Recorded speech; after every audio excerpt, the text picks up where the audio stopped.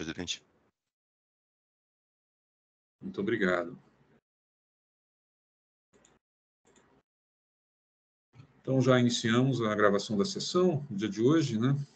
Bom dia a todos. Essa é a sessão de julgamento da primeira Câmara Julgadora do Tribunal de Impostos de Taxas, do dia 24 de janeiro de 2023. É, estão presentes na sessão, eu conduzindo os trabalhos, né, doutor João Maluf Júnior, e os demais juízes, doutora Luciana Vendramini, doutor Eduardo Soares de Mello, doutor Jandir Daleluca, como representante fiscal temos o doutor Pedro Abraão, e acompanhando hoje o, a sessão temos a doutora Marina é, Gutierrez. Ah, vamos começar então pelo processo da Luiz Dreyfus, Company Brasil, S.A., a em 4 115 257 da relatoria do doutor Jandir.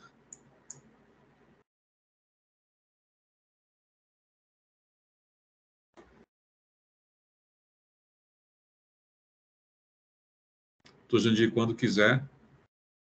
Uh, pois não, doutor João. Eu vou fazer inicialmente um breve relato.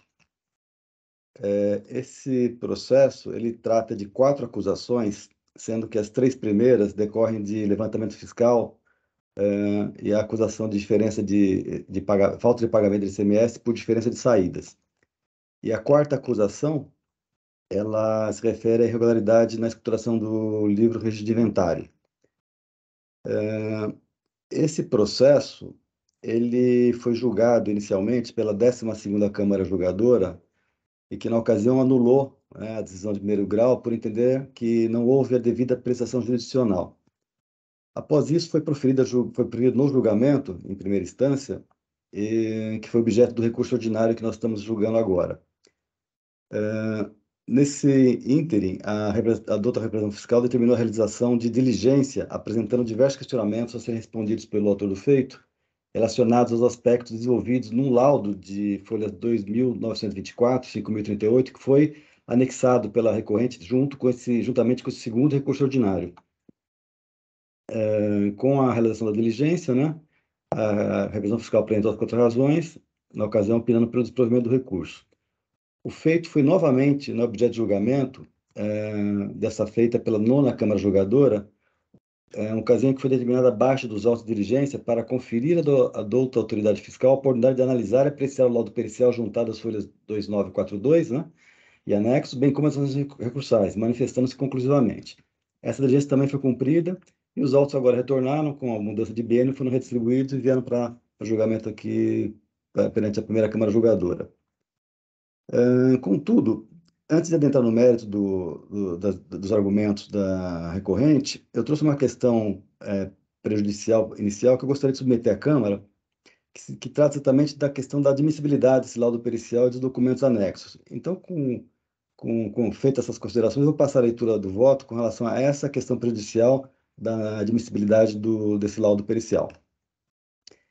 Então, passando a leitura. Antes de adentrar no mérito das alegações recursais e considerando a sua relevância probatória, cumpre proceder à análise prévia da admissibilidade do laudo técnico e anexos colacionados às folhas 2949 e 5038. É, com efeito, o artigo 19 da Lei 13457 de 2009 assim dispõe, aqui eu transcrevo o dispositivo. Verifica-se, desse modo, que a exceção da juntada de documentos destinados a fazer prova de fatos supervenientes ou para contrapô-los aos que foram produzidos nos autos, os demais deverão ser apresentados juntamente com a defesa, salvo por motivo de força maior ou ocorrência de fato superveniente, que devem ser cabalmente demonstrados. Muito embora a jurisprudência desse sodalício admita flexibilidade em relação ao momento da produção da prova documental sob os auspícios do princípio da verdade material, é certo que, sob pena de subversão da ordem processual e da eternização do processo, deve ser demonstrada alguma justificativa para que tal providência não tenha sido tomada na ocasião própria, ou ao menos que sua pertinência decorra de fatores posteriores. Nenhuma dessas circunstâncias se verifica no caso dos autos, muito pelo contrário. A recorrente foi autuada em 12 de dezembro de 2018, tendo apresentado oportunamente sua pugnação e provas documentais em 14 de janeiro de 2019 e, posteriormente, em 2 de julho de 2019, seu primitivo recurso ordinário, para apenas em 6 de maio de 2021 vir a colecionar os documentos em apreço, isso por ocasião da apresentação do seu segundo recurso ordinário, aviado em razão da prolação de nova decisão de primeira instância, uma vez que a anterior foi anulada em 11 de setembro de 2020 pela colenda da 12ª Câmara Julgadora. No seu recurso ordinário de folhas 2865, eh, a recorrente laconicamente requer a juntada do laudo técnico nos seguintes termos. E aqui eu transcrevo o dispositivo do recurso, que na verdade meramente eh, se refere né, ao laudo, né, eh, solicitando a juntada com base no parágrafo 1 do artigo 19 da Lei 13457, e ao final pede né, que, que seja feita essa juntada e que seja dado provimento ao recurso, sem adentrar no mérito de qualquer motivação para essa juntada tardia. Né? Então, prosseguindo. Vale dizer, as provas de questão foram produzidas cerca de dois anos e cinco meses após a lavratura do AIM, é, sem que a recorrente tenha apresentado qualquer justificativa. Muito embora, em diversas ocasiões, em atendimento aos princípios orientadores do processo administrativo tributário, em especial do princípio da verdade material, do princípio da instrumentalidade das formas e do princípio de formalismo moderado, já tenho me pronunciado em favor da produção de provas em momentos processuais posteriores, evidentemente, há limites para sua admissão, não sendo possível recebê-las ad eternum. No mínimo, é indispensável que a parte, que a parte apresente justificativa plausível para o atraso, o que, como visto, não ocorreu.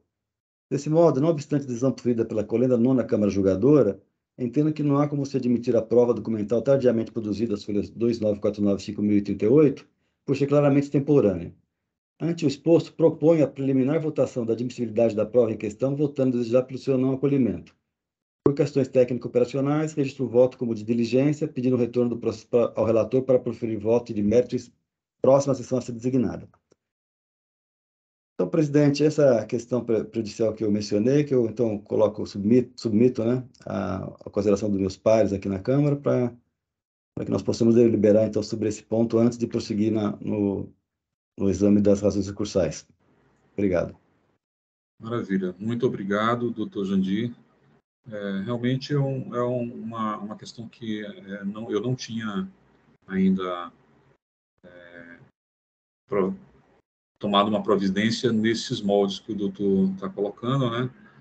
A apreciação primeiro da questão da admissibilidade da prova, né? E depois retorno para que o eu não vejo nenhum problema em relação a isso. Eu acho que a questão do registro do voto como diligência, aí então o processo ele vai em diligência para o, o, o relator, é isso? É, eu adotei essa, essa, essa, essa estratégia porque eu, eu já participei do julgamento, inclusive foi por coincidência desse mesmo contribuinte, é, quando eu fazia parte da quarta Câmara Jogadora, e foi feito dessa forma por conta da, de, das, das, limitações operacionais, né? Eu coloco a diligência, feita a votação e retorna para o próprio relator. Agora, tá. não sei se, se faz alguns anos já isso, uns três ou quatro anos, eu não sei se já houve alguma evolução no sistema com relação a isso, né? Acho que a diferença entre registro do voto como diligência e o retorno dos autos para o, o, relator é que aí ficaria registrado primeiro um, esse voto, né? Seria um, um voto que estaria no, na, na, no processo, né? Como um voto separado e aí depois o relator retorna, né? Com, com voto de diligência e aí então se manifesta no mérito seria uma, uma forma, eu não vejo problema em relação a isso, né? porque uma outra forma seria é, deliberarmos aqui, e essa deliberação, deliberação é, ficaria então precária, ou seja, não, não ficaria registrada, o processo retorna, é devolvido para o relator, então, é, manifestar-se quanto ao mérito né, e, e é, também quanto à, questão da diligência. Né. É, eu acho que isso aí, eu, eu realmente uh, não, não vejo nenhum problema, vou passar para os colegas para cada um colocar a sua opinião. Né? Eu acho que isso tem um pouco a ver com a questão da, de como o próprio relator gostaria de encaminhar, né? E não havendo nenhuma objeção né, em relação a, essa questão, que, que tenha fundamento na lei ou algum óbice que possa é, ser levantado, né? Eu acho que não tem problema nenhum é, acolher aí o formato né, que, o, que o relator gostaria de encaminhar a questão. Essa é a minha opinião. Doutora Luciana. Oi, obrigado, presidente. Mais uma vez, bom dia a todos. É, parabenizo primeiro o doutor Jandir, né, pela prudência que ele já lhe é peculiar, né, é, realmente entendo que é um ponto sensível. E, de fato, os documentos são manifestamente intempestivos, né, foram apresentados sem qualquer justificativa por parte do contribuinte, total inobservância ao artigo 19 da Lei 13457, de 2009, né. Contudo, tem algumas questões. É, é, essa aprovação do julgamento em diligência pela nona Câmara para manifestação da parte contrária, ela já nos, com ela já nos teria superado a questão da admissibilidade? Eu não sei se. Ou seja, certo ou errada, a decisão ordinária anterior já não teria trazido esses documentos para dentro dos autos como prova? É, e um terceiro ponto, a realização de um novo exame de admissibilidade desses documentos não poderia configurar a decretação da nulidade dessa decisão proferida pela nona Câmara por um órgão de mesma instância? Então, são só esses pontos assim que eu trago para discussão apesar de eu concordar que realmente esses documentos não poderiam ser aceitos, porque manifestamente intempestivos e apresentados sem qualquer justificativa. Então, são esses três pontos que eu gostaria de, de refletir, né, de que a Câmara, que os colegas me ajudassem a refletir, se nós não teríamos essas implicações. Obrigado, doutora Luciana. É, é, realmente é, é uma questão até preliminar a essa preliminar, né? porque a gente precisa entender se é, se nós já estamos revisitando, alterando uma decisão que já foi tomada sem termos recursos para isso, né? sem é, essa matéria ter sido devolvida né, para nós. Na verdade, se isso já foi objeto de uma decisão, já foi acolhido, né? Agora, é uma, uma questão de é, interpretação nossa também, né? Então, é, e aí é, Vamos, vamos então pensar. Doutor, doutor Jandir, gostaria de falar antes ou passamos para o doutor Eduardo? Porque uma... é, eu posso me manifestar. Realmente, esse ponto que a doutora Luciana é um ponto que eu ponderei também antes de, de apresentar o voto, né? mas me parece que não há uma. É, é, enquanto não há julgamento definitivo do processo, essas questões estão, estão ainda sob a, a jurisdição né, do julgador. Então, a qualquer momento, ela pode ser, pode ser alterada. Inclusive, a própria nona Câmara de se tivesse se distribuído os autos para para ela, ela poderia modificar o posicionamento enquanto não está concluído o julgamento. Enquanto não é pronunciado o resultado do julgamento, é possível que, que os votos sejam, inclusive, alterados, né? Inclusive nessa questão que é prévia de admissibilidade. E outro ponto é que a matéria seria recorrível para a representação fiscal, né? Naquele momento, essa matéria ela não pode ser considerada como definitiva porque ela não, era, não, não poderia nem sequer ser objeto de recurso para a representação fiscal. Então, eu acho que ela pode ser revista enquanto não for proferido julgamento definitivo, né? Acho que nós não estamos é, é, vinculados né, decisão. Perfeito. É, doutor Jandir, não seria o caso, então, de abordar esses pontos para que não, há, não seja depois é, alguém é, arguir a nulidade da decisão porque alterou. E uma vez que a gente, então, aborda essa, essa questão, aí se torna uma, uma, se torna uma tese, né? E não é uma novidade por omissão, nem, nem uma, um erro de fato, enfim. É, enfim, é só uma colocação. É, eu, eu posso até mencionar, podemos aguardar a conclusão do julgamento, até para ver qual vai ser o desfecho, e dependendo como for, eu posso incluir essas informações. Doutor Eduardo. Eu concordo com, com o doutor Jandir a questão do, do laudo, né? embora eu discorde de que o único momento para apresentá-lo seria junto com a defesa. Né? Eu acho que a gente tem que sempre vislumbrar a questão da busca da verdade material, né? prestigiar o formalismo moderado, até para a gente evitar, como a gente conversou antes do julgamento, mas em relação a outro tema, uma questão de sucumbência, né? se você apresenta depois esse laudo no judiciário. Mas nesse caso específico, no caso vertente, é, não houve apresentação nem, nem na, no momento do primeiro recurso ordinário, né? Então, é como o doutor Gentil colocou, fica uma coisa de eterno, né? Você abre uma porta para o momento que quiser. Você, não estou dizendo que foi o que aconteceu, mas patronos de outras empresas autuadas por terem é, apresentar uma coisa com objetivo de postergação, tem que ter uma hora que tem que ter um limite, até para ter a eficiência do processo administrativo. Então, nesse caso específico, né, em que foi apresentado um segundo recurso ordinário, eu aí entendo que não deve ser aceito, não deve ser examinado. Aí eu concordo com o relator. Muito obrigado, doutor Eduardo. Então, em relação à matéria de fundo, que é a admissibilidade ou não dessa, desse, é, desse, é, desses laudos, né? então é, há uma unanimidade aqui pela inadmissibilidade, né? pela intempestividade. Então, em relação ao encaminhamento, qual é o encaminhamento? Aí é, nós temos, então, eu, o doutor Eduardo, eu gostaria só que o doutor esclarecesse, porque eu concordo com o doutor Jandir, a doutora Luciana vê um problema nisso, eu queria saber se o doutor esclarecesse em relação a, a esse encaminhamento. Né, de agora... Perdão, eu concordo com o doutor Jandir. Perfeito. Então, teríamos, então, uma... É, é, é, aí eu, eu passo para a doutora Luciana, porque daí nós temos aqui, então, três posições que concordam com o encaminhamento, e aí, é, não sei se seria o caso do doutor Jandir é, fazer esse esclarecimento da posição que ele colocou, né, que é, é, não teria se completado o julgamento, e, mas eu queria ouvir a doutora Luciana antes e, em seguida, a representante fiscal. Sim, presidente. É, eu gostaria até de fazer essa, levar essa questão para o doutor Pedro. Né? É, essa decisão, ela pode, ela pode ser objeto de recurso pela representação fiscal, essa decisão que, que promoveu a diligência?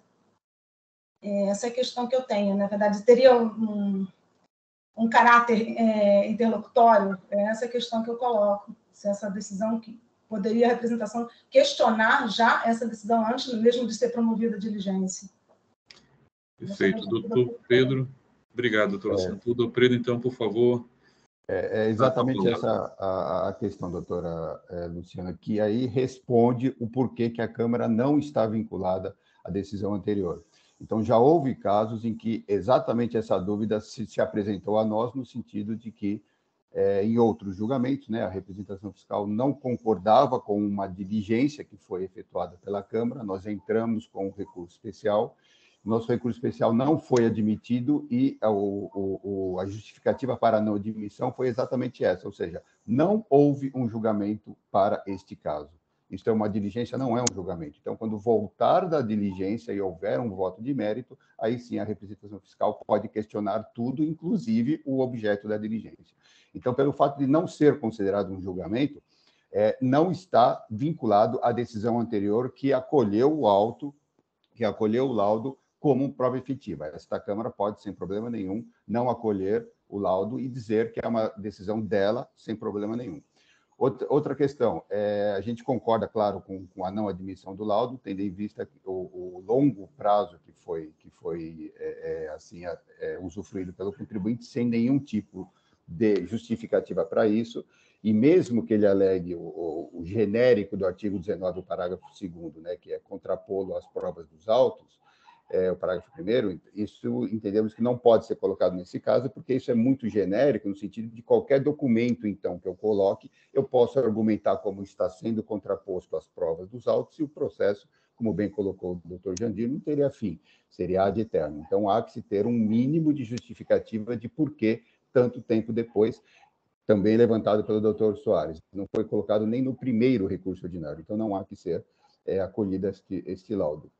E a respeito do encaminhamento do, do processo, é, com todo respeito, doutor Jandir, eu, eu, concordo com a segunda posição adotada pelo doutor Maluf, pelo senhor presidente, e a gente já fez isso em outras câmaras, ou seja, o que a gente entende que seria o correto nesse caso?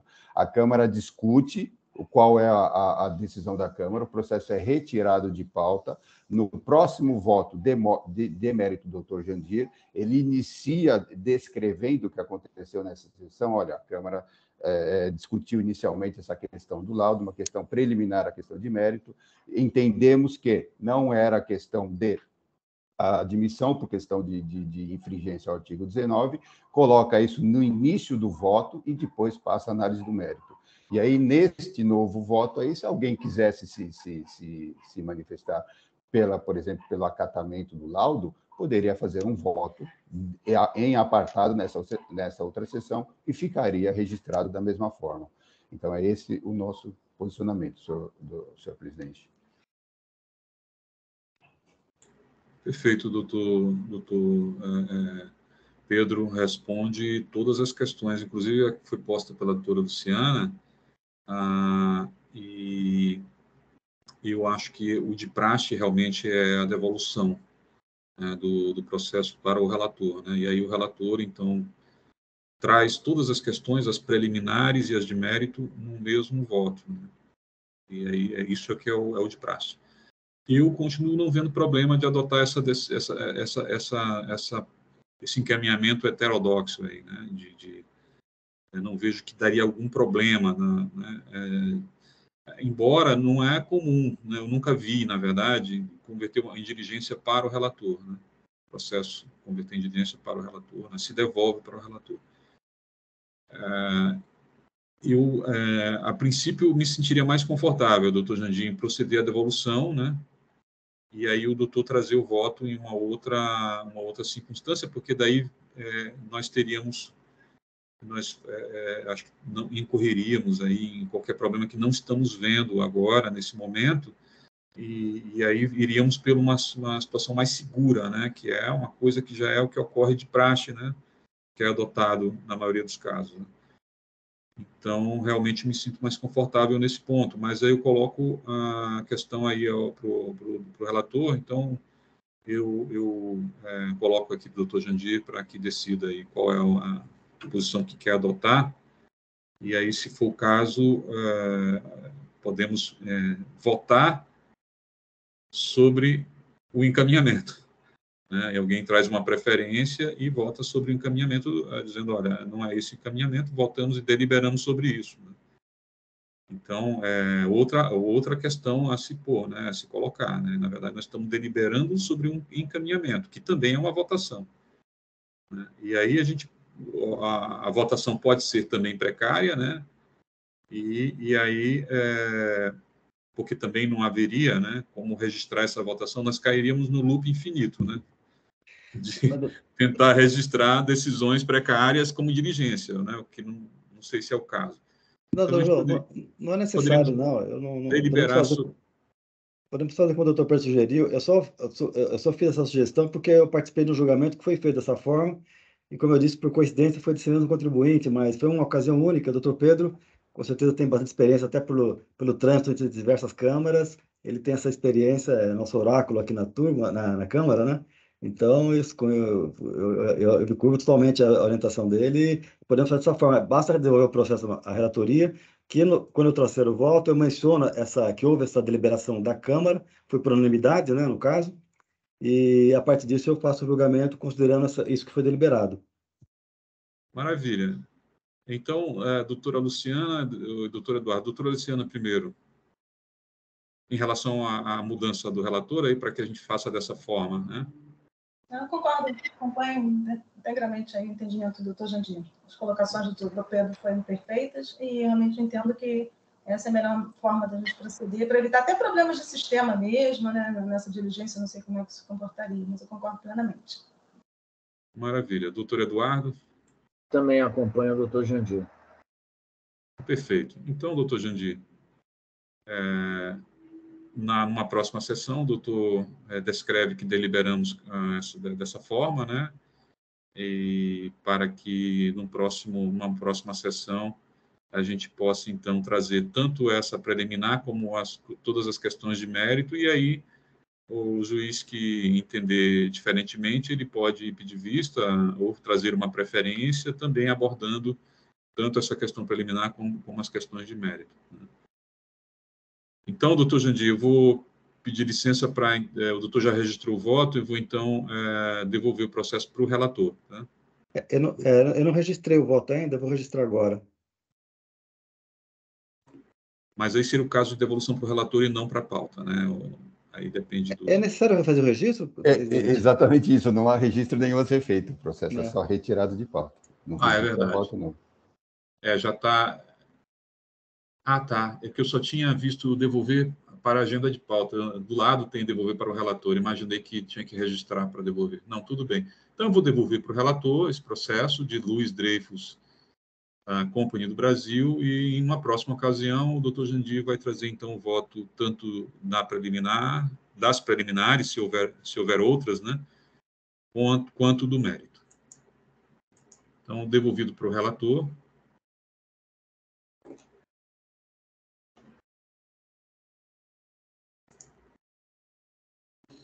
Então, processo de Luiz Dreyfus Company Brasil SA, AIM 4 115 257, foi devolvido para o relator.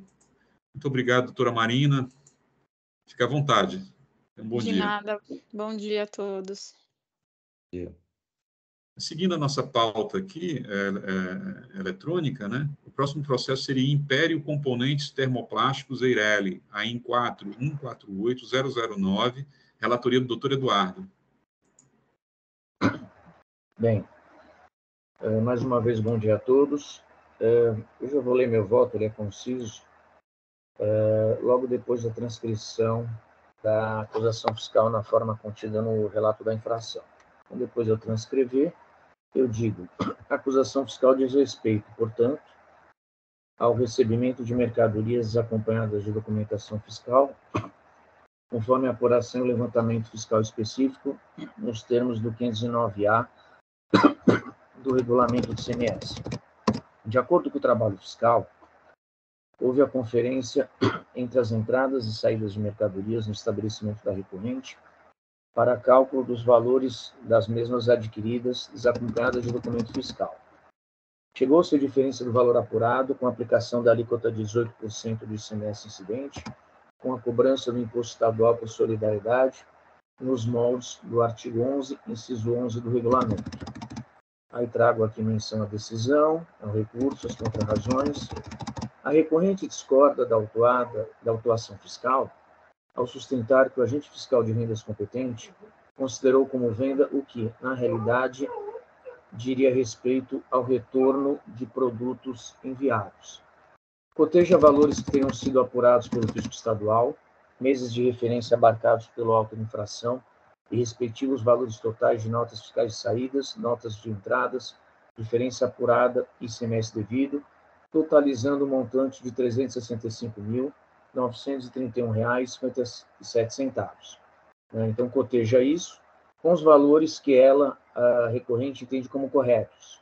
Para tanto, apresentou demonstrativo contendo, em relação ao período objeto do auto, valores atinentes a vendas, industrialização de produtos, retorno de mercadorias, diferenças que teriam sido apuradas corretamente, além do ICMS que seria devido, alcançando um montante de R$ 255.823,41. Nesse sentido, a recorrente se insurge em relação ao valor de R$ 110.108,16, uma vez que estaria relacionado ao retorno de mercadorias e não à venda das mesmas, fato gerador do imposto estadual em comento alega superficialmente, e aí sou eu que estou dizendo, né, superficialmente, porque adianto, desprovido da necessária demonstração por elementos provas, que a devolução de mercadorias estaria demonstrada no sistema da Cefaz, que é mantido o controle das operações, bem como nos livros fiscais, cujo movimento mensal é informado e transportado para as vias. Acrescenta recorrente que o retorno de mercadorias enviadas a terceiros não poderiam ter sido consideradas compras não acompanhadas das devidas notas, tendo em vista o estatuto no artigo 402 do RICMES e que estabelece a suspensão da exigibilidade do CMS. Reitera que, na hipótese de cobrança do imposto estadual em enfoque, o mesmo seria da ordem de R$ 255.823,41, ao invés de R$ 365.931,57. Em que pese as alegações da recorrente, não há como acatá-las, especialmente porque a mesma não fundamenta seu posicionamento na apresentação de provas. Oportuna transcrição do ordenamento jurídico atinente ao caso. Então, aí eu transcrevo o artigo 509, incisos, perdão, parágrafos 1 a 4, assim como o 509A, os incisos 1 a 9, além dos parágrafos 1 e 2 presume da legislação que rege a matéria, no caso, os artigos 509 e 509-A do RICMES, 1. Um, a possibilidade de apuração do movimento real tributável do estabelecimento por meio de levantamento fiscal. 2.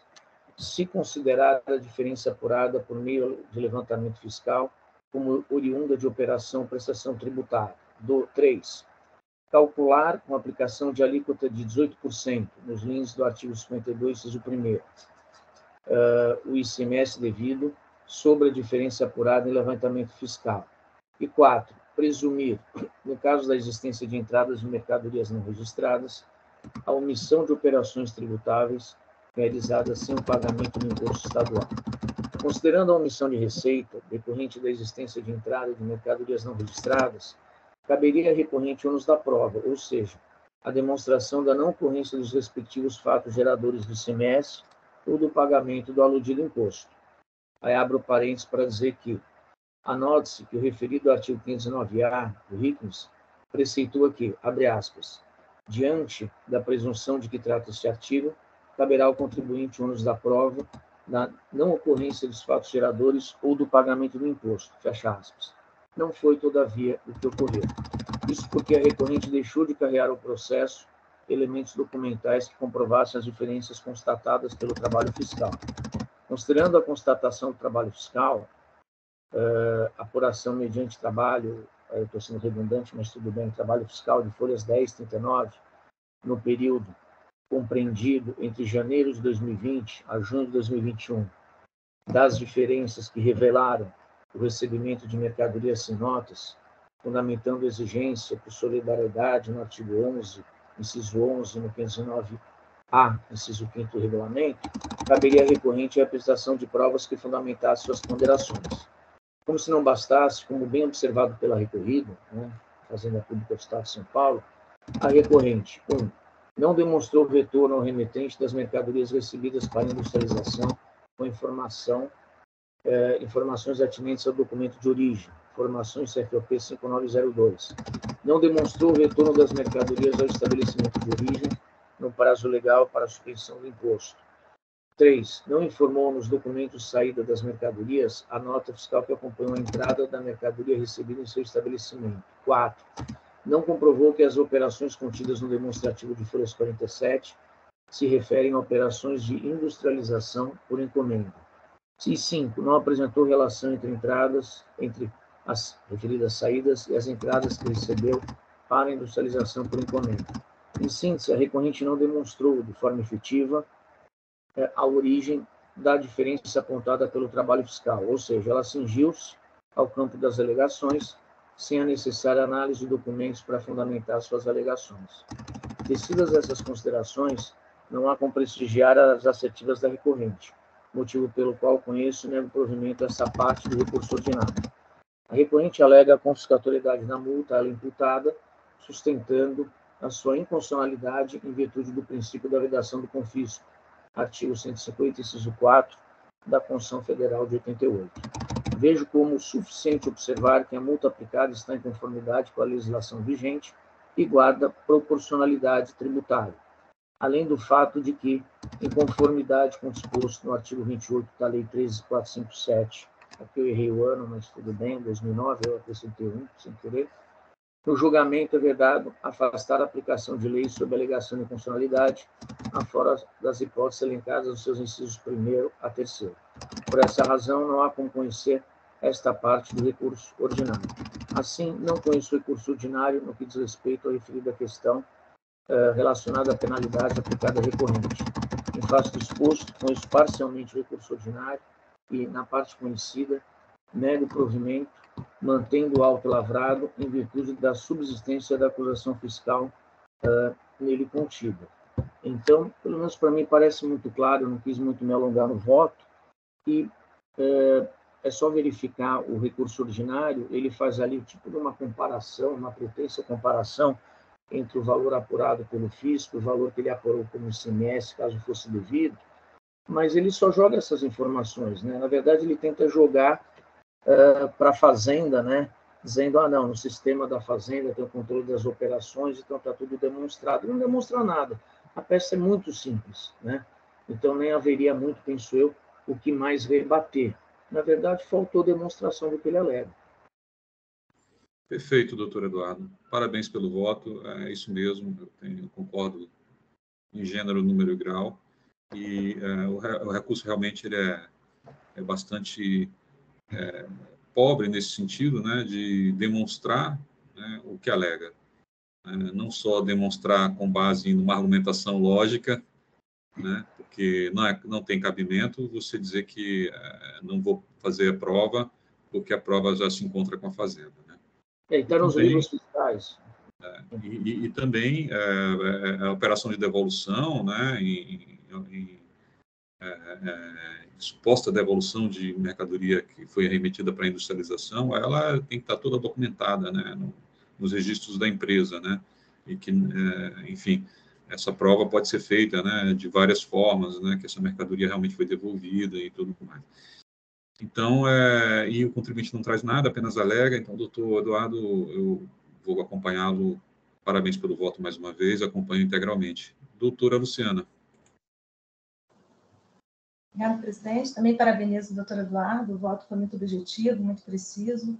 É, realmente eu acompanho integralmente, né? É, estamos tratando levantamento fiscal, presunção relativa, incumbiria o contribuinte anos da prova, e como o doutor Eduardo colocou, ele não logrou demonstrar a origem da diferença apontada né, no trabalho fiscal. Então, não tem nada mais a acrescentar. Está é, impecável o voto do doutor Eduardo.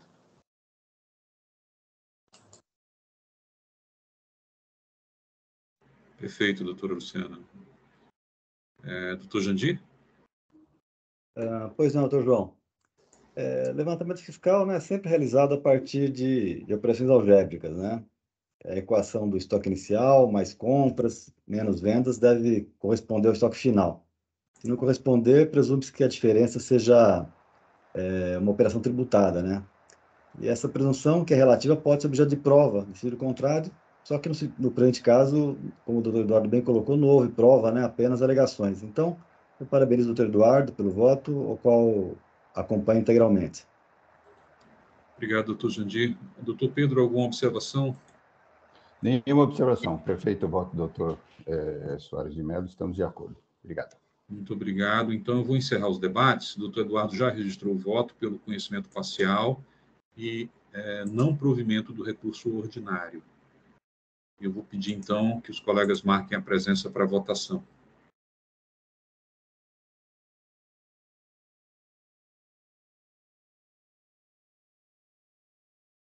Vamos iniciar a votação?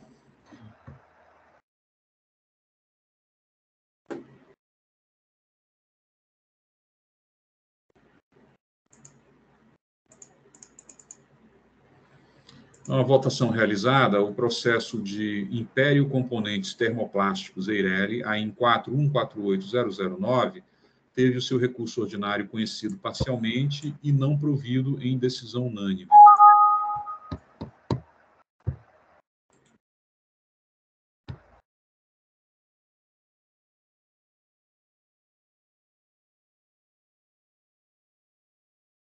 Pedir aos colegas que se dirijam para o próximo processo, que é o processo de J. Mafer, Indústria, Comércio e Distribuição Eireli, AIM 4 148152, relatoria da doutora Luciana.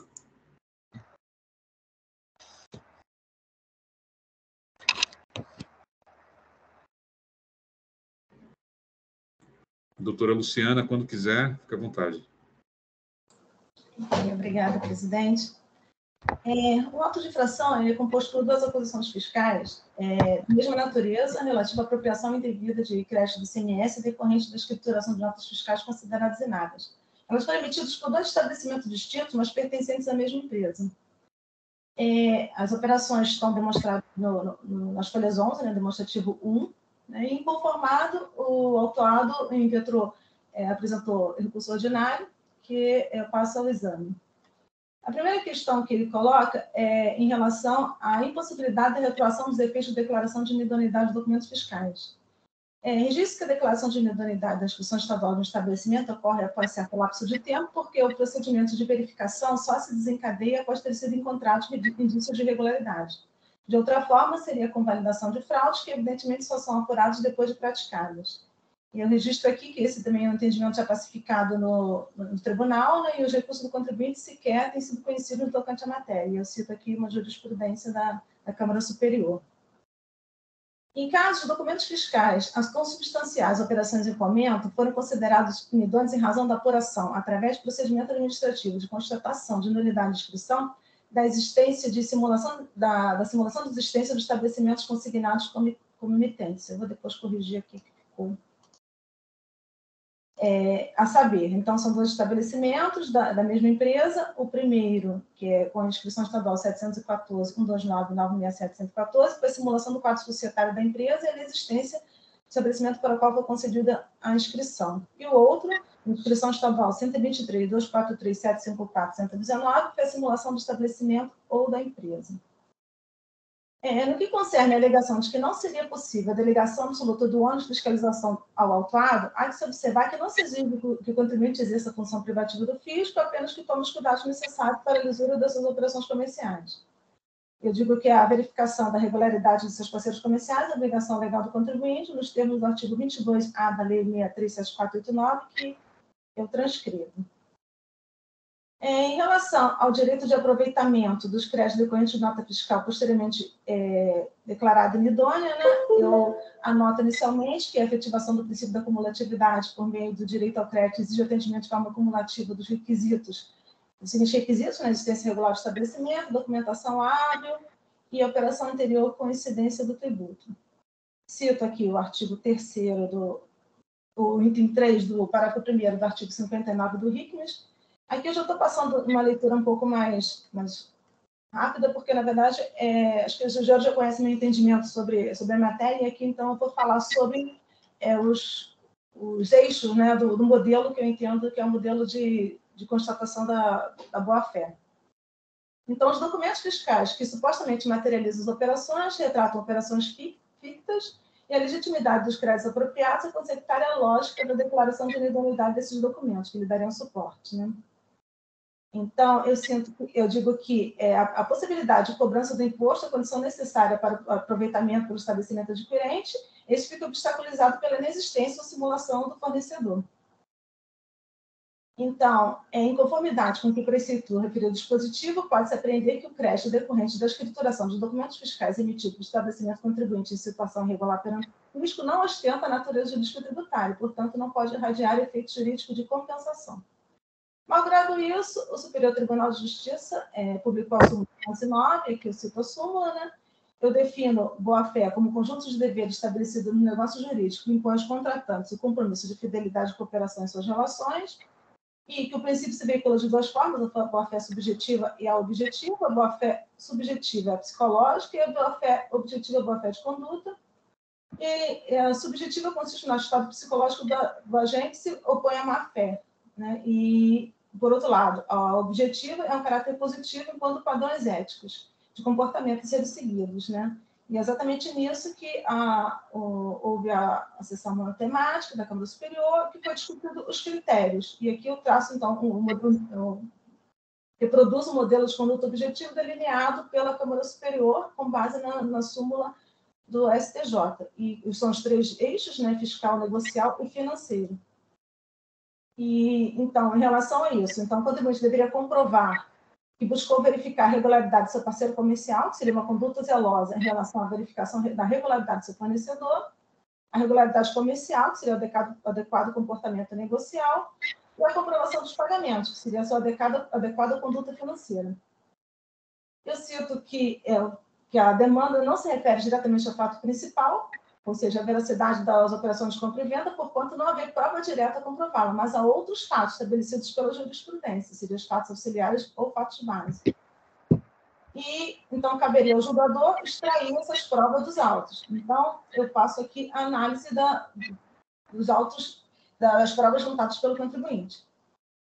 É, mas antes, é, eu, eu digo que é, consoante relatado pela autoridade fiscal, quando o regulamento notificado a comprovar a, efetividade das operações descritas é, nos documentos fiscais, o contribuinte não apresentou informações do documento solicitado pela autoridade fiscal quanto ao suposto fornecedor de inscrição é, estadual 123, 243, 754, 119, e forneceu resposta inconclusiva em relação ao outro fornecedor, de inscrição 714, 119, 967, 114 é, de forma que não há completa identificação do transportador nos documentos fiscais, não apresentou controle de portaria, é, consta que a transportadora é do Estado do Espírito Santo, do Estado de Santa Catarina, sem inscrição no Estado de São Paulo. No relatório de idoneidade, o fato de que não foram encontrados conhecimentos, ele diz né, que não foram encontrados conhecimentos de transporte eletrônico destinados ao contribuinte, e o contribuinte foi notificado a esclarecer, dentre outros pontos, se houve certificação do local onde seriam remetidas mercadorias, e ele omitiu-se de prestar qualquer esclarecimento nesse sentido. Cabe, então, examinar os elementos probatórios relacionados aos autos em sede de defesa à luz do princípio jurídico da boa-fé objetiva. mas sem antes, é, mas sem antes, não sem antes observar que o argumento recursal de que a Fazenda Pública não produziu qualquer contraprova hábil a comprovar a documentação carreada nos autos pela autora é falsa. É, eu digo que isso se encontra dissociado dos fundamentos da jurisprudência que ele suscita. A jurisprudência não incube a Fazenda Pública a produzir contraprova de que a documentação, a demonstrar que a documentação juntada seria falsa. Então, eu passo, então, a análise da verificação da regularidade fiscal dos fornecedores. Né? E aqui eu já passo ao item 47, né, que ele diz que a declaração de idoneidade é posterior à negociação, de modo que a consulta ao cadastro de contribuintes é, à época da venda não apontaria qualquer irregularidade. E eu digo que com, é, ainda que em situações como a presente, né, a declaração de idoneidade do estabelecimento fornecedor é posterior à realização das operações consignadas no documento, nos documentos fiscais, não é a demonstração da regularidade fiscal que se busca. A toda evidência, a prova demandada é a comprovação de que o contribuinte teve conduta diligente no momento da celebração do negócio jurídico e realizando reconsultas aos cadastros fiscais para verificar a regularidade do seu pretenso parceiro comercial. E aqui eu registro, né, é, em caráter de argumentação, né, que com todas as vezes os que pensam de forma diversa, eu discordo do entendimento de que tal comprovação restaria mitigada no contexto da emissão da nota fiscal eletrônica. As razões para isso eu procurei enumerá-las a seguir. A primeira, porque a legislação de regência é cogente ao estabelecer que a emissão da nota fiscal não é garantia de unidade do documento nem a ocorrência física da operação, conforme disposto no artigo 10 da portaria CAT 162 de 2008. A segunda é, também, como já dito, a necessidade de verificação da regularidade é, está expressamente prevista no artigo 22A da Lei 6374, de 2009, de 89. A terceira, porque estamos a verificar o enquadramento da conduta do contribuinte em um modelo de conduta ética específico, definido pela jurisprudência em um momento histórico em que já havia obrigatoriedade de emissão da nota fiscal eletrônica. A quarta, porque, ao se esquivar de verificar, no momento da celebração do negócio jurídico, a regularidade do seu parceiro comercial, o adquirente assume o risco de sua conduta. A quinta, porque penso que, ao se promover mutilação de eixo do modelo de conduta delineado pela jurisprudência, se estaria a engendrar um modelo paralelo de comportamento aceitável, a legitimar o aproveitamento do crédito do CMS decorrente de nota fiscal posteriormente declarada inidônea, o que, a meu ver, não se figura, não se figura cabível. Volto ao caso concreto e constato que nenhum elemento probatório foi apresentado no intento de demonstrar conduta zelosa do adquirente em relação à verificação da regularidade do seu fornecedor. A vista disso, revela-se evidente que ele não logrou cumprir o requisito de verificação da regularidade fiscal dos fornecedores. Passa então ao exame do eixo negocial, a verificação da regularidade comercial das operações. Conclusão do arcabouço probatório colacionado Sérgio de Defesa, depreendo que no intento de demonstrar a adoção de uma conduta comercial diligente nas operações em comércio, o autor postou os autos do documento de folhas 243 a 301. De plano, saliento que os documentos fiscais inidôneos são inóculos como elemento de prova da boa-fé da atuada, uma vez que o parágrafo único do artigo 164 do RIC dispõe que o documento inapto fará prova apenas em favor do fisco. Quanto aos outros documentos nominados pedido de compra, por apreender a sua fragilidade probatória, vez que produzidos unilateralmente pelo contribuinte e sem assinatura, busco nos autos elementos que possam corroborar os fatos relacionados com o conteúdo apresentado. Contudo, o que ressai da carga informativa acolhida é que o conteúdo desses documentos, os pedidos de compra, cotejado com dos documentos fiscais objetos da autuação, se revela desfavorável à pretensão recursal. Então, vejamos. E aqui eu faço, eu transcrevo os conjuntos de informações extraídos do todo probatório. É, e a partir do confronto dessas informações, bem se evidencia que a data de emissão do pedido de compra é posterior à data do documento fiscal e de saída da mercadoria. E também que, conquanto haja no documento fiscal, não haja no documento fiscal qualquer indicação do, do número do pedido de compras, né, que o próprio pedido diz que a nota fiscal deveria mencionar o número desse pedido, ao contrário, esse número da nota fiscal é o que consta no pedido de compras. De certo que a incongruência estampada em documentos fiscais que deveriam fazer prova a favor do contribuinte macula indelevelmente a pretensão recursal. Bastante incompatível com a pretensão de se comprovar a regularidade das tratativas, das tratativas negociais entre as partes é a apresentação de pedidos de compras de mercadorias que já ostentam o número de documentos fiscais. Com efeito, não é concebível, afigurando-se paradoxal, que as tratativas negociais tenham ocorrido após a celebração do negócio jurídico mercantil. A toda evidência, as incongruências apontadas, que se alastram por todo acervo probatório, são contundentes e, por si só, obstaculizam o enquadramento do comportamento do adquirente no modelo de conduta ética em questão. Mas o óbvio da pretensão recursal não se esgota nessa faceta. Como bem observou o ilustre julgador monocrático, abro aspas, não se observa quaisquer contratos, negociação de preço, prazo de pagamento ou entrega, o que certamente era de se esperar em aquisições que alcançaram a cifra de quase 1 milhão e 500 mil reais em apenas seis meses. E no que atinge a demonstração da regularidade do transporte, o juízo de piso também, ele também considera que não consta qualquer identificação dos veículos que supostamente realizaram o transporte nas notas fiscais. De fato, nos documentos fiscais objeto da atuação fiscal, não há sequer a identificação dos veículos que teriam efetuado o transporte da mercadoria, em evidente violação ao que determina o artigo 127, inciso 6, a linha C do RICMES. De certo que não há como ser reputado verdadeiramente diligente o comportamento de um contribuinte que recebe mercadorias acompanhados de documentos fiscais emitidos em desconformidade com o que precipou a legislação. E aqui eu cito que dispõe o artigo 203 do RICMES.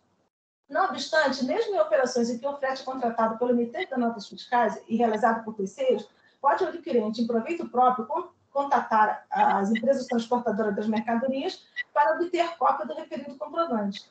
Nos termos do que dispõe o regramento posto no artigo 154, combinado com o inciso 2 do artigo 153 do RICMES, a segunda via do conhecimento de transporte rodoviário de cargas acompanhará, o transporte até o destino, podendo servir como comprovante de entrega. Mas é necessário notar que não se está aqui exigir documentos fiscais que não sejam de responsabilidade do contribuinte, apenas a demonstração objetiva da boa-fé com a qual ele alega veementemente ter agido.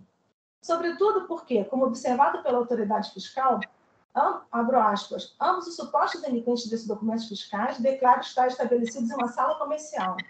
A empresa Marajó movimentou milhares de toneladas de aço.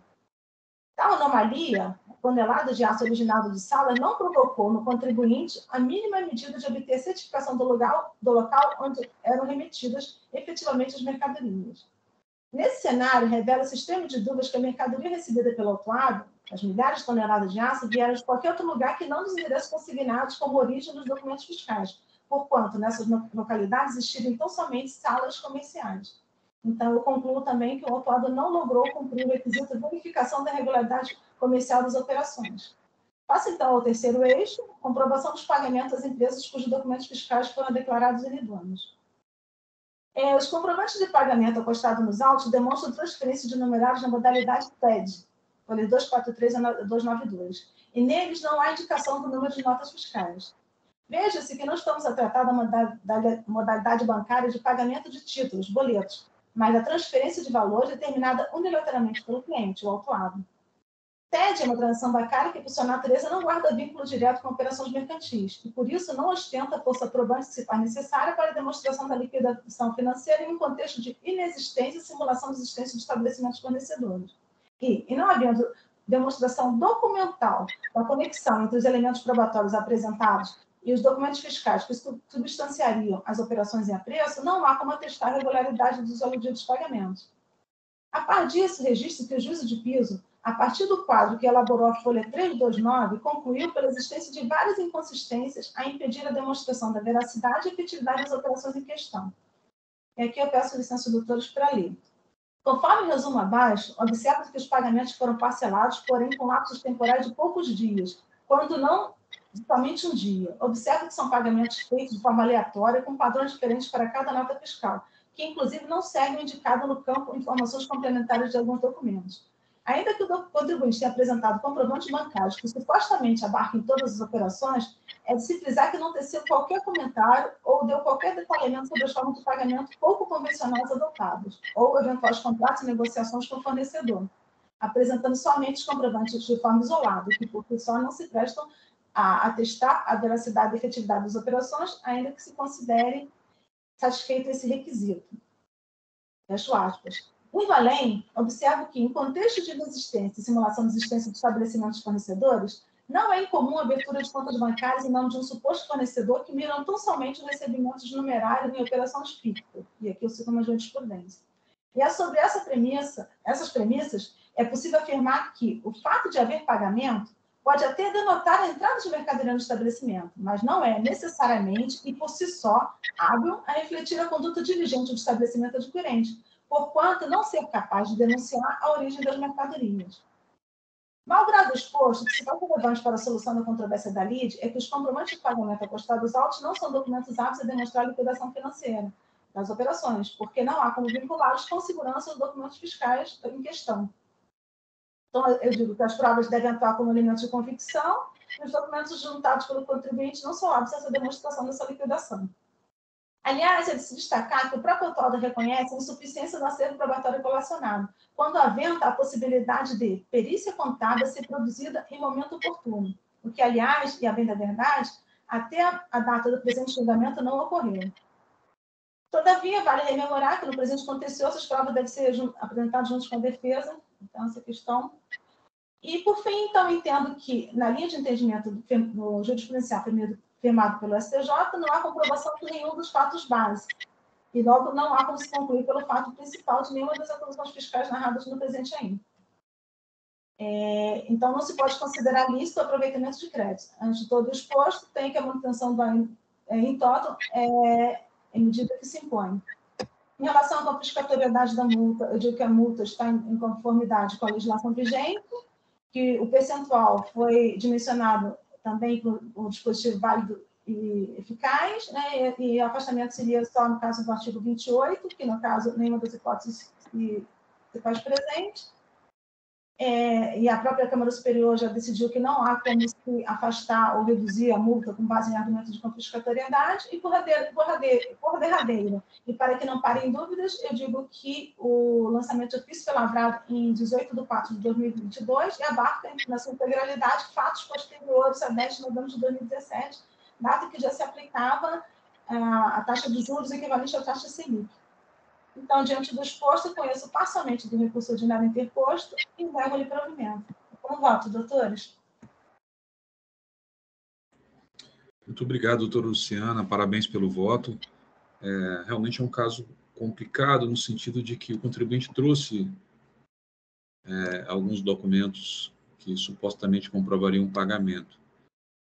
É, análise desses documentos acho que foi bem feita pela decisão recorrida e também pela doutora Luciana. Acho que é, se torna difícil né, quando é, você se, se, acompanhado de outros elementos, né, como a doutora Luciana bem coloca, né, as questões aí que envolvem o eixo negocial, né, realmente, é, dos pedidos de compra em datas posteriores, né, algo é, que parece que, é, que foi é, elaborado depois para que compusesse um, um cabedal de documentos, entendeu? Uma, e não é algo que é usual, né? Então, é, e também questões do transporte, enfim, tem todo um contexto né, que não, não houve prova né, e que eu acho que realmente olhando do ponto de vista do conjunto probatório, realmente eu vejo que não, não há condições de, ah, na minha opinião, é, considerar, acolher a alegação uh, da aplicação da tese da boa-fé. Então, realmente, eu parabenizo pelo voto, é complicado, a análise foi bastante detalhada, e muito obrigado, doutor Luciano, eu vou acompanhá-la integralmente. Doutor Jandir, doutor, doutor Jandir, é, doutor Eduardo gosta de falar por último, doutor Jandir. É, pois não, doutor João. É, eu também, de início, já parabenizo a doutora Luciana né, pelo voto bastante detalhado, né, esmiuçado, e, como sempre, bastante didático. É, nesses casos de inodoneidade, né, apesar de também ser importante né, a prova relativa às tratativas comerciais e outras, né, a demonstração do pagamento ela acaba sendo fundamental, pelo menos do meu ponto de vista. E nesse ponto eu peço ver, né, para discordar da doutora Luciana, é, meramente quanto à relação à admissão da TED como elemento probatório, né? Pois eu acredito que possa, sim, a TED servir de prova, né? Pois ela demonstra exatamente o que é necessário demonstrar, né? Que, é a, que os recursos saíram né, do adquirente e foram para o fornecedor. Mas, apesar disso, no caso dos autos, uh, não há prova efetiva, nem mesmo da maioria das, dos, das TEDs, né? Estava lendo aqui a partir das folhas 246 e seguintes, na verdade, é apenas solicitação de emissão de TED pelo sistema PagFor, né, do Banco Itaú. Ou seja, seria necessária uma prova complementar de que essas TEDs teriam sido efetivamente realizadas, né? E não, então, então, diante disso, né, não tendo sido feita, né, essa prova principal, que é o pagamento, né, de forma satisfatória, aliada a essas outras precariedades aí das demais provas, né, então eu não vejo, diante dessas observações, né, feitas essas observações, eu não vejo como deixar de acompanhar a doutora, a doutora Luciana. Então, eu acompanho o voto da relatoria, feitas essas, essas observações com relação à admissibilidade da TED, né, como prova de pagamento. Obrigado. Perfeito, obrigado, doutor Jandir. É, bem observado. A doutor Eduardo. Bem, eu acompanho a relatora, né, diante do, do específico, né, porque nesses processos envolvendo o Nidônio, cada, cada auto de infração lavrado tem uma particularidade, né, em termos de, de elemento documental. Então, nesse caso específico, eu acompanho e parabenizo pelo voto é, ultra detalhado. Muito obrigado. Doutor Pedro.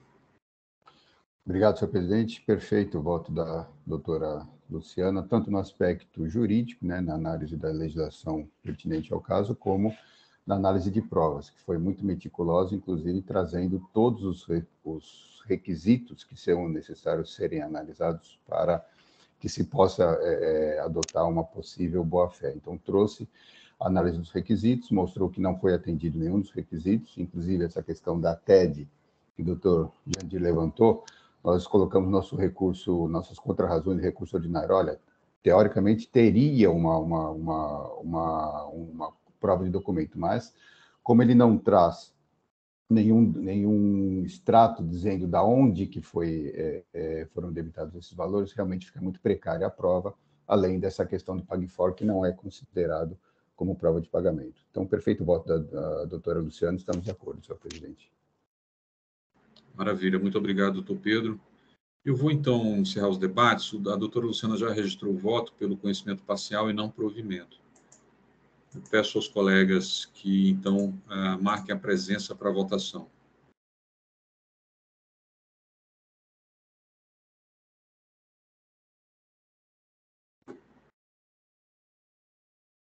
Vamos iniciar a votação.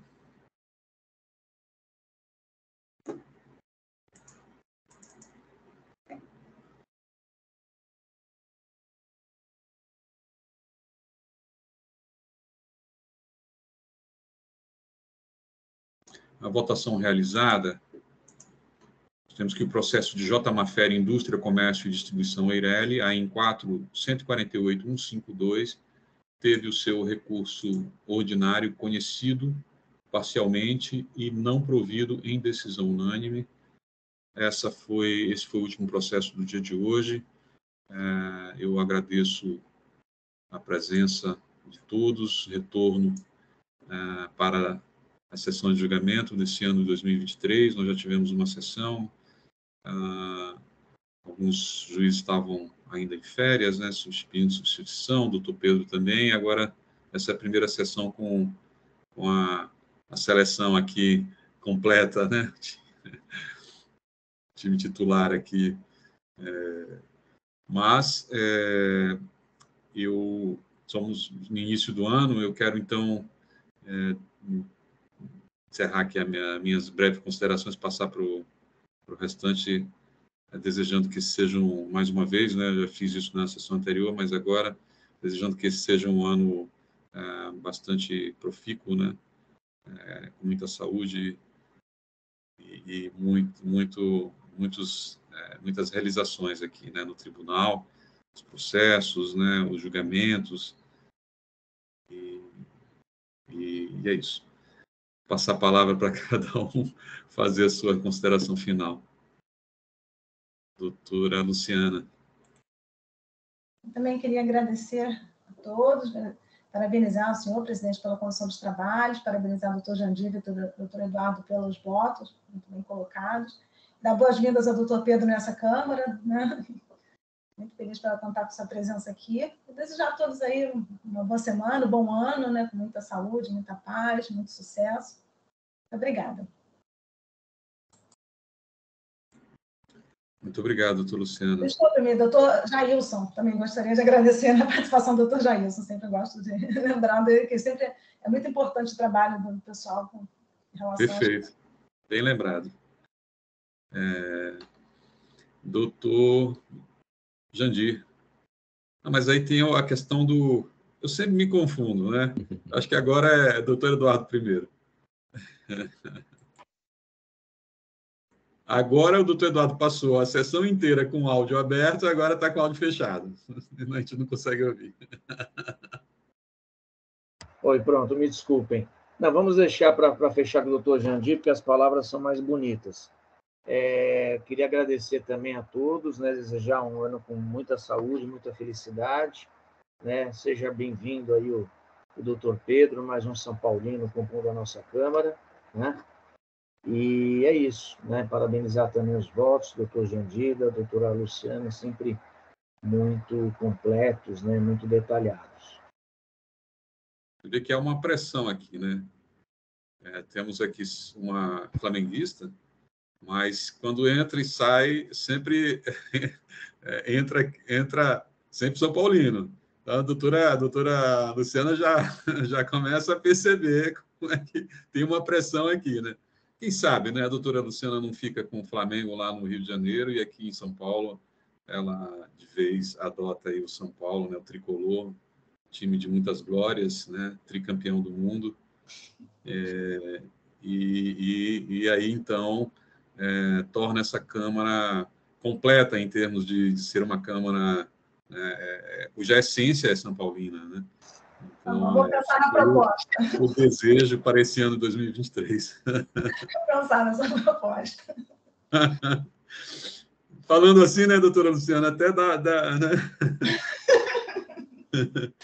Mas, é, brincadeiras à parte, né? Então, vamos passar aqui para o doutor, doutor Jandir, para, enfim, o, o arauto aqui das, das boas, boas notícias, das datas importantes, né? E que seja assim, né? é sempre nos lembrando das boas datas, né, dos momentos é, é, é, que são que acabam sendo emocionantes, né, em alguns, alguns momentos. Doutor Jandir. É, pois não, doutor João.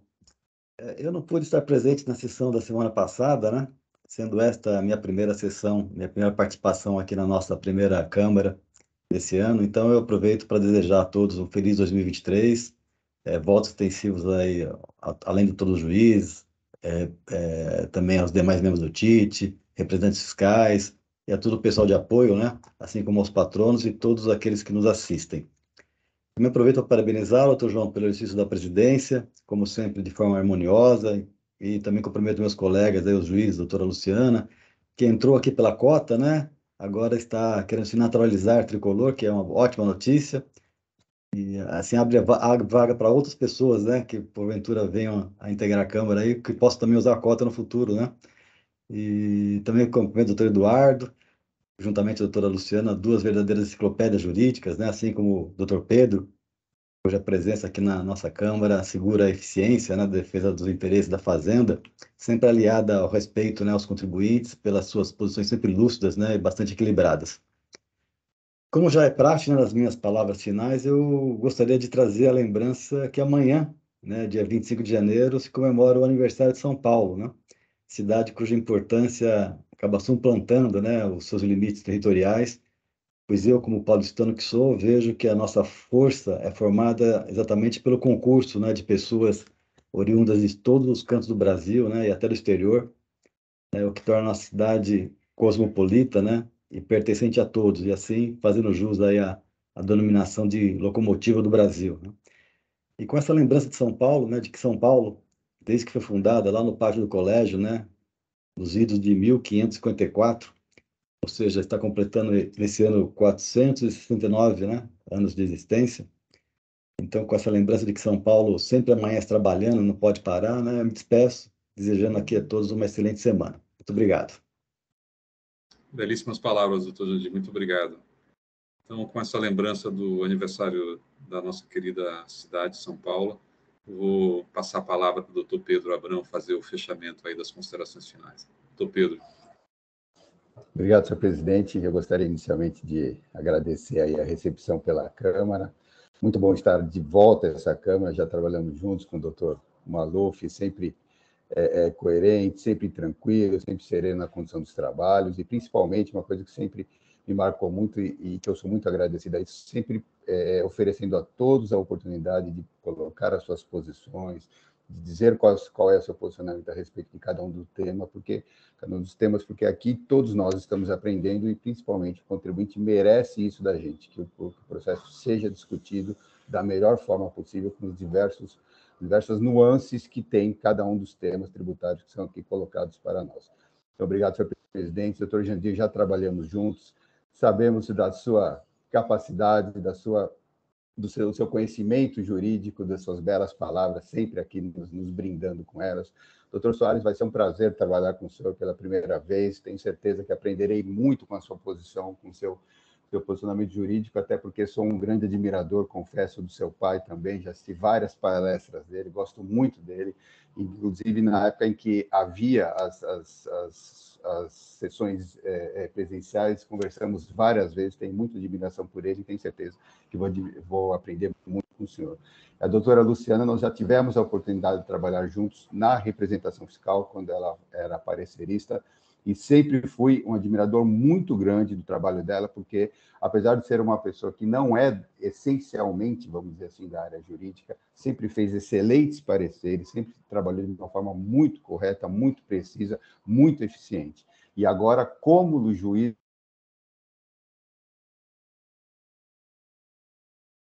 muito a doutora Luciana também, colocando o, o, meu posicionamento e muitas vezes, talvez entre em choque com o dela, mas eu tenho certeza que vou aprender muito também com a doutora Luciana, porque ela é uma profissional que faz os seus trabalhos de uma forma muito eficiente, muito correta. Então, agradeço a todos, tenho certeza que teremos um ano de muito aprendizado e um ano de muito trabalho com relação ao que o, o, o contribuinte espera de nós, que é o, uma discussão clara, uma discussão precisa, cada um colocando seu, o seu posicionamento, mas colocando é, é, os, os autos de infração na melhor discussão possível para que consigamos as melhores decisões para o contribuinte poder ter certeza e poder ficar tranquilo que foi prestada a, a, a, jurisdição para, para ele em cada caso. Então é isso, senhor presidente. Muito obrigado. Estou muito feliz de ter voltado a essa Câmara. Obrigado. Muito bem colocado, doutor Pedro, como sempre, né? O doutor Pedro sempre, a gente é, deixava a representação fiscal aqui né, na, na, primeira Câmara, na composição é, anterior, né? Falar por último, sempre porque o doutor Pedro é o que é o que realmente tinha é, essa essa esse talento, né? De colocar as coisas que são realmente pertinentes da forma correta e, e bastante gentil, né? E, e apropriada. É, e aquela, é o bom filho a casa torna, né? Na verdade, o doutor Pedro, ele é decano da primeira Câmara no sentido não de, de, de, talvez de idade, mas no sentido de participações, né? Na verdade.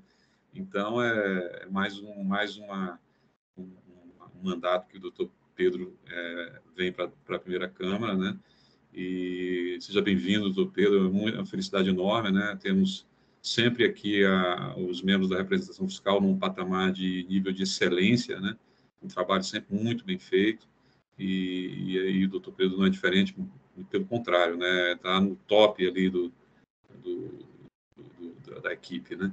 Então, estamos ficando muito felizes, né? E, assim, temos a certeza de que não, é, é, que vamos ter um, um crivo, né? É, é do nosso trabalho de forma é, bastante aprofundada e com um olhar sempre muito atento, né? Como sempre foi no, na época que nós estivemos juntos no, no passado, como sempre a marca é, que o Dr. Pedro em todas, deixa em todas as câmaras que participam.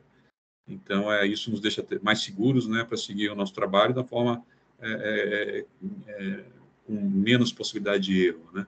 Então, muito obrigado, seja bem-vindo e que venha 2023, né? Vamos então torcer para que esse seja um ano é, com é, bastante sucesso aqui nos trabalhos da Câmara e, e para todos nós.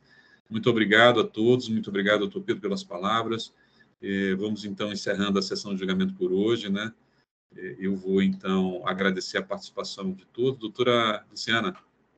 É, só para dizer que a partir da semana que vem eu vou estar na, na, Câmara Superior, né? Então ficarei mais duas ou três semanas na Câmara Superior. Então verei já em fevereiro. Perfeito, doutora Luciana. Bom trabalho e, e volte logo. Não fique por lá, não. Não nesse mandato, por favor. Obrigada. Ah, brincadeira, mas é, é um bom trabalho e Então, é, nos vemos daqui a três sessões, né? A doutora ficará duas sessões fora. Perfeito.